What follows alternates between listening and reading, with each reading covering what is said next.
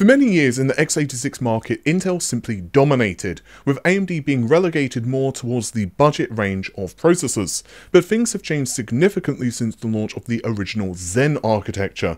Ever since then, the two companies have been jostling backwards and forwards, and AMD oftentimes comes out ahead, particularly when it comes to core count, and this is true across multiple different uh, market segments, including of course mobile and servers. But with the Ryzen 7000 series and Intel's 13th generation processors, well established in terms of what they offer.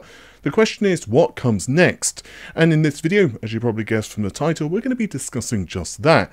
There have been a lot of updates recently in terms of leaks from both companies, and I really wanted to put this video out as kind of just a jumping point to update you on several aspects of specifications for both companies, particularly given I've been hearing a couple of very interesting things concerning Zen 5 based on some updates that just happened a few days ago. I want to discuss release date information, updates to architecture, as well as that all important performance. There have been a lot of leaks and rumours swirling around Zen 5 at the moment, so that seems a great place for us to start. So, with the very basics then, AMD's own roadmap hints that we're going to be seeing the processors across both 3 and 4nm process, and of course this is true given AMD themselves state it. The I.O. die is 6nm due to it not benefiting so much on a smaller process, hence AMD can save money on this cheaper node.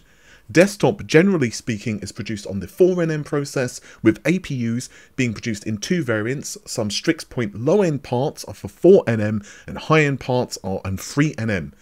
Servers also see a split of, of sorts, and then we're also left with Zen 5C, Dense, which of course is also on the 3nm process.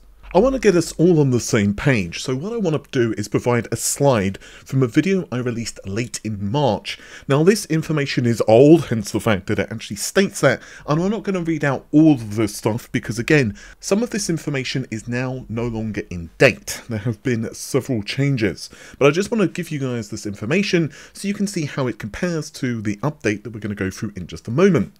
So, to my current understanding, a number of things are wrong, not least of which because AMD themselves have decided not to go through the implementation.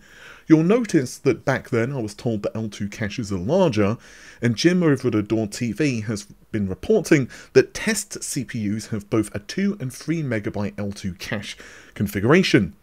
But I've been told by multiple sources that this was at one point correct, Zen 5 was being tested with these larger caches in the aforementioned configurations, but now AMD have decided to stick with just 1 megabyte of L2 cache.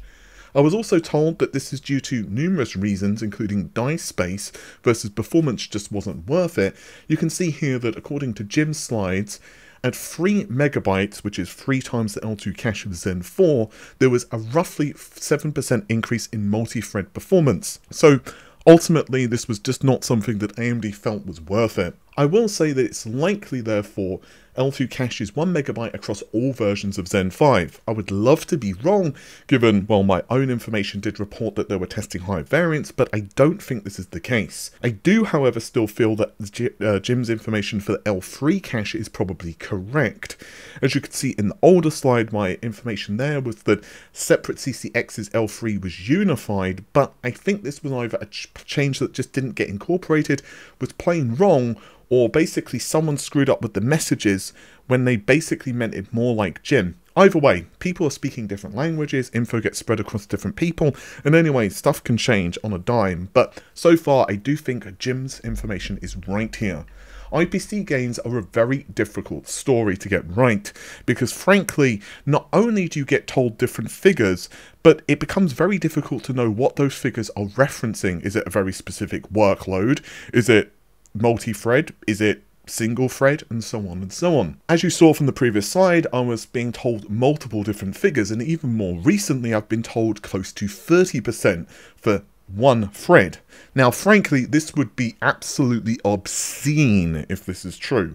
Again, this is one of those things where I would love for it to be true, but most of my best sources are telling me to taper those expectations, and on a 1T workload, about 20% for desktop seems to be correct. If we look at Zen 1 to Zen 2, then Zen 3, in this official slide here from AMD, as well as this follow-up slide, well, this basically shows us some best case scenarios of AMD's previous architectures. Now you have to remember that A, a target is not necessarily hit, and B, different workloads can definitely vary, well, a lot. So it's very difficult to really talk about IPC in that respect.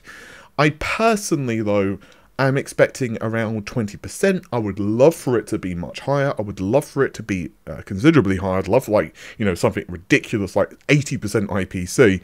But again, I want to try and taper you guys' expectations.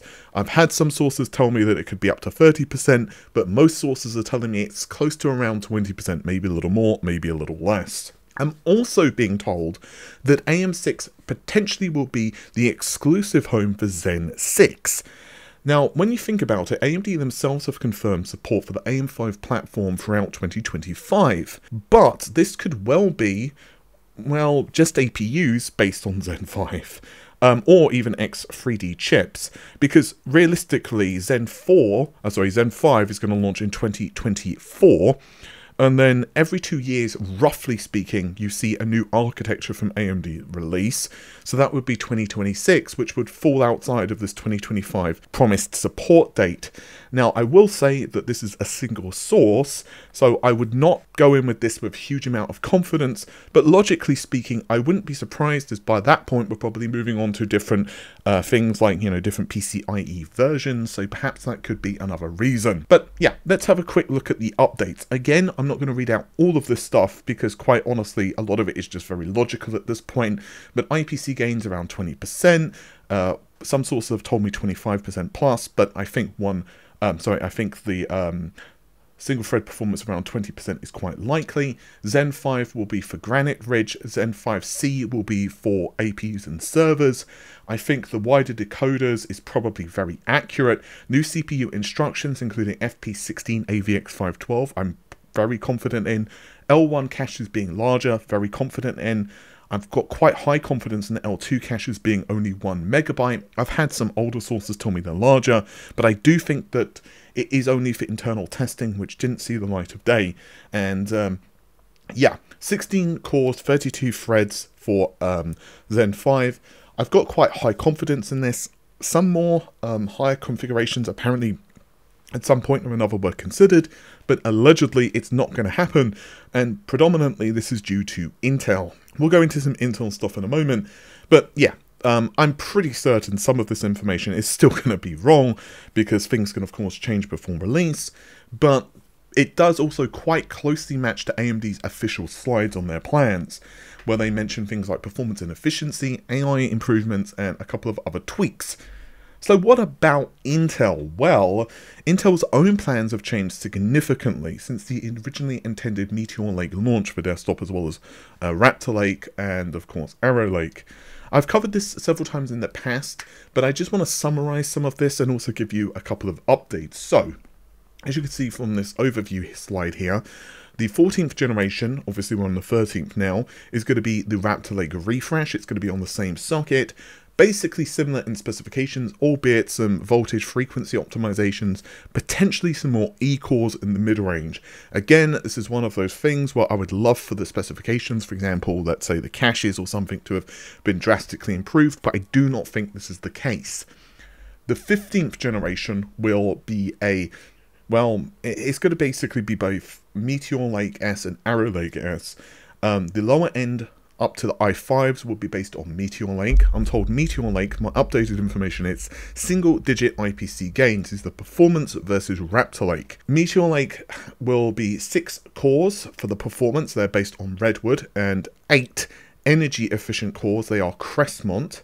Um, I'm told that the Meteor Lake S has just he, uh, hit, excuse me, the ES1 phase. This is in April, and uh, Meteor Lake P has hit ES2 in March. Arrow Lake, meanwhile, will be i7 and i9s, for example, the 15900K or whatever. It will be 8 performance cores, Lion, 16 energy efficient cores, Skymont. The IPC is about 18 to 20% over Raptor Lake, according to one source, and around 20% over Meteor Lake, according to another source.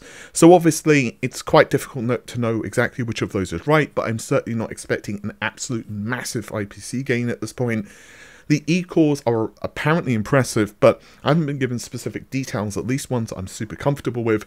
DDR5 only, socket 1851, 200 series board, uh, sorry, 800 series board and 125 watts, like that actually matters any.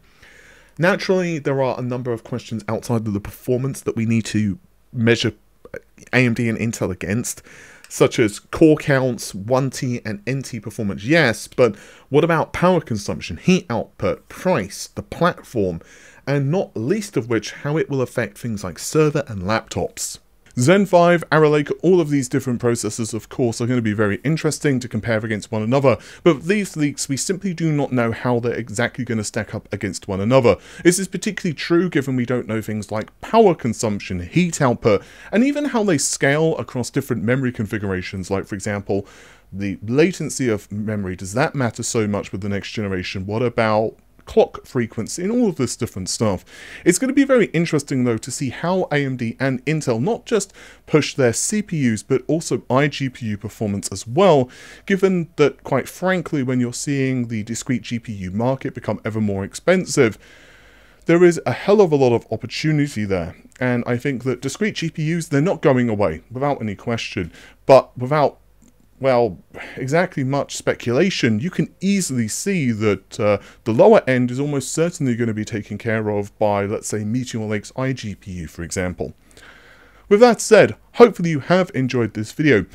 If you have, well, you know what to do. Leave a like on the video and all of that stuff, and I'll see you soon. Take care of yourselves. Bye for now.